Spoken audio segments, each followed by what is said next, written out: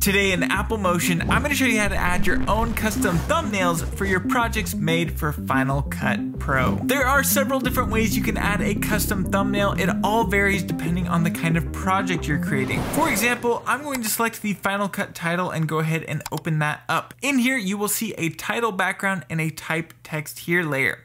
Now this title background makes it very, very easy to add your own custom thumbnail. All we need to do is go into our Finder and just click and drag whatever JPEG JPEG or PNG we want onto the title background and just like that we have added our thumbnail. However, it should be noted that this thumbnail is also going to include any additional layers that are placed above it. So we would see this type text here layer in our Final Cut Pro project. However, maybe you don't have an effect source or a title background in your project and it looks something like this where you've got just your layer and a black background. Well, what you can do is actually set up the exact frame you want to have as your thumbnail for Final Cut Pro. So we could move forward in our project to wherever we want, push Shift M to add a green marker, double click on that marker and change the type from standard over to poster frame. This is going to tell Apple Motion the exact frame you want to have as a thumbnail for your projects that are sent over to Final Cut Pro. But let's say you want to have a much more customized thumbnail for your projects.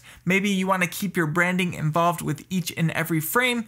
All we need to do is jump out of motion and in Finder, we will locate the actual image that we want to create as our thumbnail. Go ahead and right click on that image and go down to quick actions and select convert image. Now I'm going to set this over to a PNG format and we can set our image size to whatever we like. I usually like to just do the medium size and from there we can go ahead and select um, convert to PNG. Now with this PNG created, you can go ahead and copy it or just drag it over and locate the actual plugin that you want to add your thumbnail to. So in here, I have my ProZooms plugin. I'm gonna push Command V to paste it. And in here, you're gonna notice that there is a large.png and a small.png. Go ahead and delete both of those. Then with our new PNG that we just added, we can rename this to be large.